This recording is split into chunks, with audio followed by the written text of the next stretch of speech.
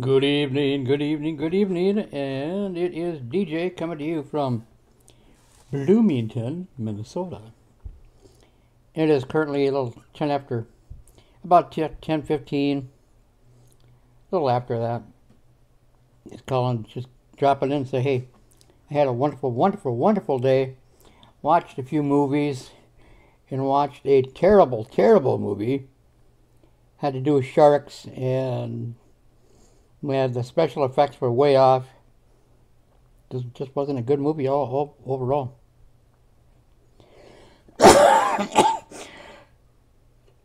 Excuse me. And I only paid four ninety nine for it plus tax. Not out of a lot of money there. Overall, it was good. It was good. Just uh, Wish there would have been a preview for the movie. Yeah. Previews do help when you're going to watch a movie. You watch the preview before the movie and you think, okay, well, yeah, the preview was all right. Let's just uh, give this a try. And I gave it a try. I gave it a try. But yeah. No, I'll stick to my Jaws, where a famous line in that movie is, We're going to need a bigger boat. Very interesting movie. Roy Scheider, I believe, is in that movie.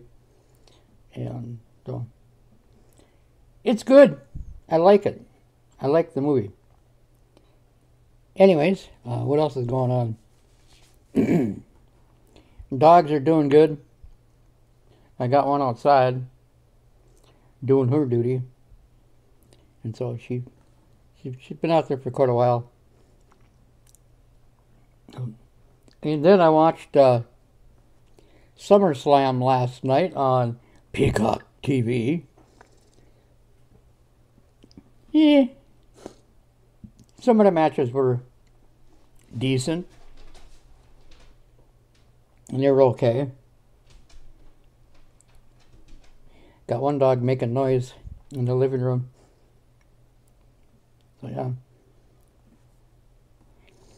Bianca Bianca Belair is no longer the women's champion, which is okay by me. I just got tired of her being a champion. But uh, the guy that remains to be champion is Roman Reigns. Uh, I'm still waiting for him to uh, changing the storyline on that where he loses loses the belt, but I don't see that happening anytime soon. Maybe it'll happen at Survivor Series.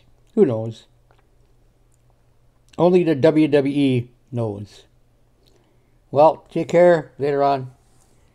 And we're out of here. Need to get some sleep.